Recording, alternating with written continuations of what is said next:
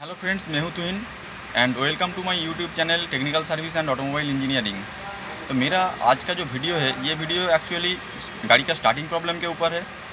तो मेरे पास एक गाड़ी आया जिसका स्टार्टिंग प्रॉब्लम हो रहा है। तो इस गाड़ी में प्रॉब्लम ये है कि गाड़ी क्रैंक हो रहा है लेकिन गाड़ी स्टार्ट नहीं हो रहा है। तो आइए पहले आ, क्या प्रॉब्लम है? इस प्रॉब्लम को दिखा देते हैं फिर दिखाते हैं किससे मैंने किस तरीके से आप ये प्रॉब्लम को सॉल्व कर, करेंगे। तो दोस्तों, मैं इग्निशन को ऑन करता हूँ। तो ऑन करने से आप देख सकते हैं यहाँ पे ई e का जो सिंबल है, वो सिंबल क्लस्टर में नहीं आ रहा है। उसके साथ साथ जो इमोबिलाइज़र का सिंबल है, वो भी नहीं आ रहा है। तो इस कंडीशन में तो गाड़ी क्रैंक होगा, लेकिन गाड़ी स्टार्ट नहीं होगा। तो ये देख के आपको, ये देख के तो आप ये भी समझ जाओगे कि ये वायरिंग सिस्टम में कुछ प्रॉब्लम है तो आइए देख लेते हैं। तो फ्रेंड्स, आइए पहले हम फ्यूज़ को चेक कर करेंगे और उसके बाद हम ई को चेक करेंगे।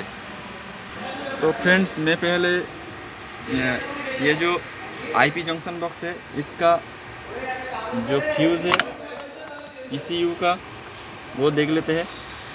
तो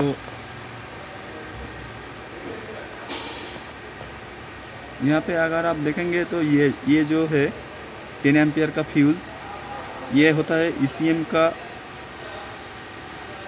मेन पावर का फ्यूज़। तो ये फ्यूज़ अगर काट जाए तो इससे भी आपका ई e का लाइट नहीं आएगा। तो हम पहले इसको चेक करके देख लेते हैं।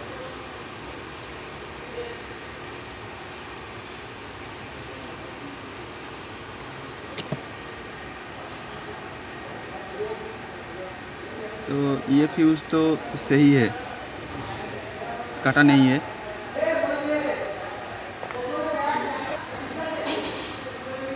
फिर से लगा देते हैं फ्यूज़ को। तो फ्रेंड्स आइए बाहर का जो फ्यूज़ बॉक्स है, उसमें भी एक फ्यूज़ है।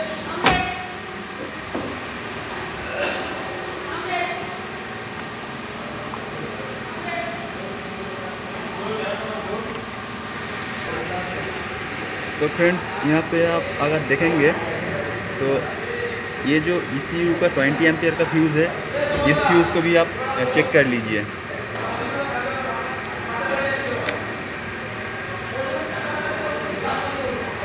ये फ्यूज़ भी सही है।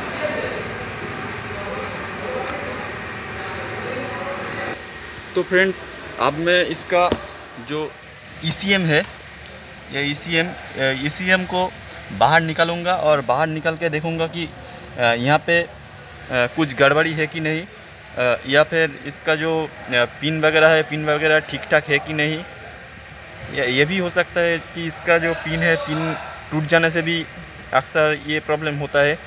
तो पहले ईसीएम को देख लेते हैं। फ्रेंड्स, मैं इसका जो ईसीएम है, ईसीएम को खोला और ईसीएम को खोलने के बाद आप अगर ध्यान देंगे तो ये जो पिन है ई में, ये देखिए आप अब शायद नज़र में आ रहा है, ये जो सल्फ़र जमा हुआ है पिन में, इसके वजह से ये जो प्रॉब्लम हो रहा है व्हीकल स्टार्ट नहीं हो रहा है और सम टाइम व्हीकल ऑफ़ भी हो जा रहा है। तो इसको क्या करते हैं, इसको पहले क्लीन करते हैं और क्लीन करके फिर लगाते हैं और देखते हैं क्या प्रॉब्लम सॉल्व हुआ है या नहीं। तो फ्रेंड्स मैं ई e का जो पिन है इसको क्लीन करने के लिए डब्ल्यू डी फोर्टी यूज़ करूँगा और उसके साथ ए, एक मिही सीरीज़ पेपर भी यूज़ करूँगा। तो इससे हम पहले आ, पिन को क्लीन कर देते हैं। तो दोस्तों अगर आप ध्यान से देखेंगे तो इसका जो ई e है ई e का पिन में पूरी तरह से क्लीन कर दिया। आप इसको फिट करते हैं और देखते हैं प्रॉब्लम सॉल्व हुआ है या नहीं। तो मैं फिट कर दिया। आप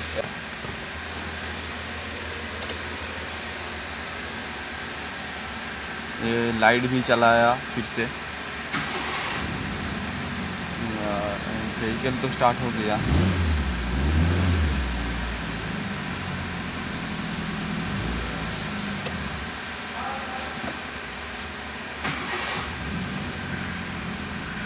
स्टार्ट हो रहा है। दिक्कत नहीं हो रहा है। आप दोस्तों, अगर ये वीडियो आप लोगों को पसंद आया तो ज़रूर लाइक और कमेंट कीजिए। Thank you